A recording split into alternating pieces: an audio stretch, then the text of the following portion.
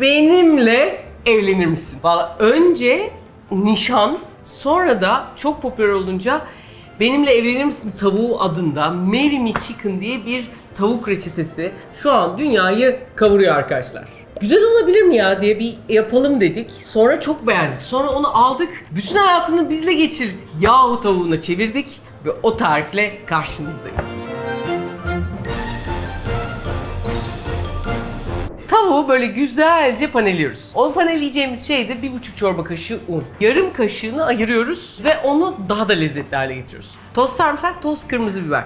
Toz sarımsağınız yoksa sarımsak püre yapıp ekleyebilirsiniz. Bir buçuk sarımsak yeter. Onun içerisine birazcık tuz, birazcık karabiber koyuyoruz. Böyle lezzetli bir un oluyor. İki tane tavuk göğsümüz var. Ortadan kesiyoruz. Keserken böyle yavaş yavaş. Sonra dövüyoruz. Bir tane buzdolabı poşetini iyice kesip arasına koyuyoruz. Dövüyoruz. Bayağı bir böyle 2-2,5 milim kalınlığında oluyor.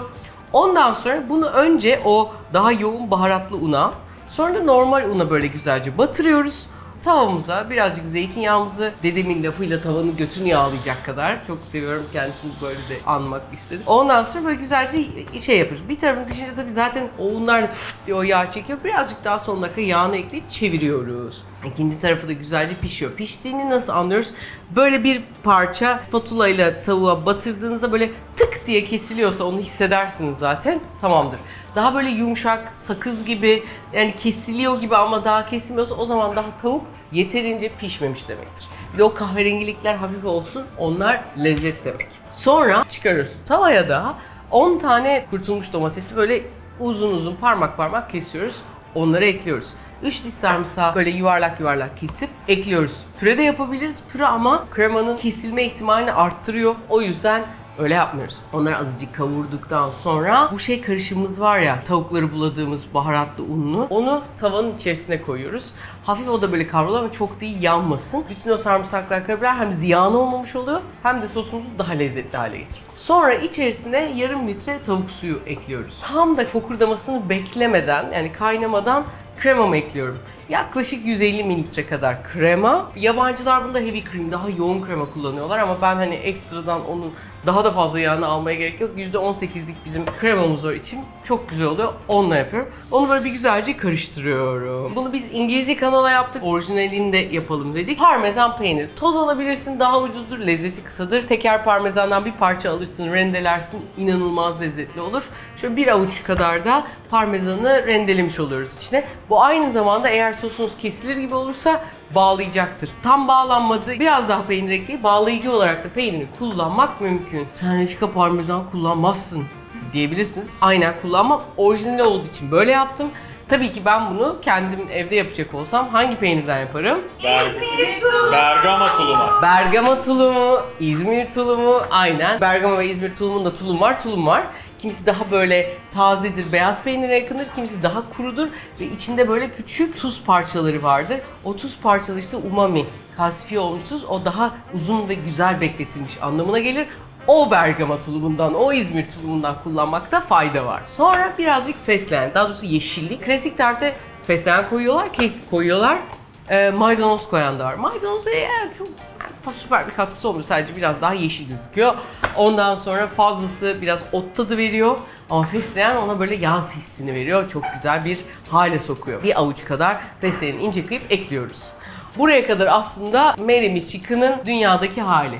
Onu Refikaca bütün hayatını benle geçire çevirdiğimiz zaman hayatın gariplikleri var arkadaşlar. Yani iyi günü var, kötü günü var. Genelde iyi günler kötü günlerden çok daha az. Öyle bir şey var ki insan beyni de inanılmaz bir aygıt. Kötüleri unutuyorsun. İyiler de çok daha uzun bir şekilde aklında kalıyor aslında. Yani sağlıklı bir vücutta depresyondayken bu terse dönüyor, alt üst oluyor falan filan. Ama işte o iyi gün, kötü günde yani ekşilik olacak, acılık olacak, gariplik olacak, asitli bir böyle bir seni yakan şeyler olacak, canını acıtan şeyler. Bunların hepsi olacak. Dolayısıyla bu tavuğa bunların hepsinin olduğu bir versiyon yapmak istedim.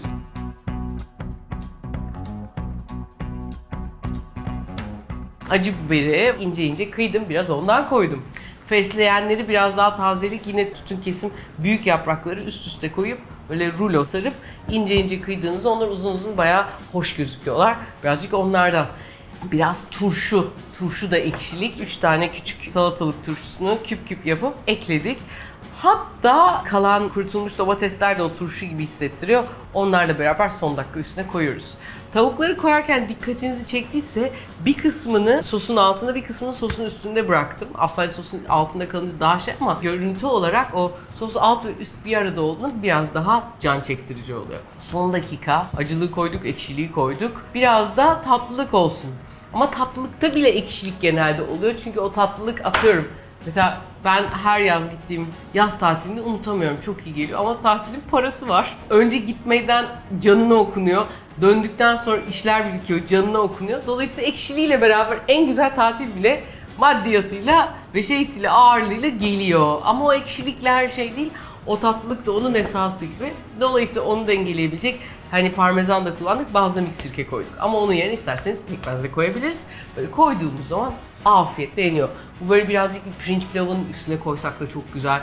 Ekmekle yesek çok güzel. Sade yesek çok güzel ama o sos bol bol ya ona bir yanına bir yancı ne yalan söyleyeyim istiyor. Ben zor tuttum kendimi. Çok güzel, çok kolay yapması.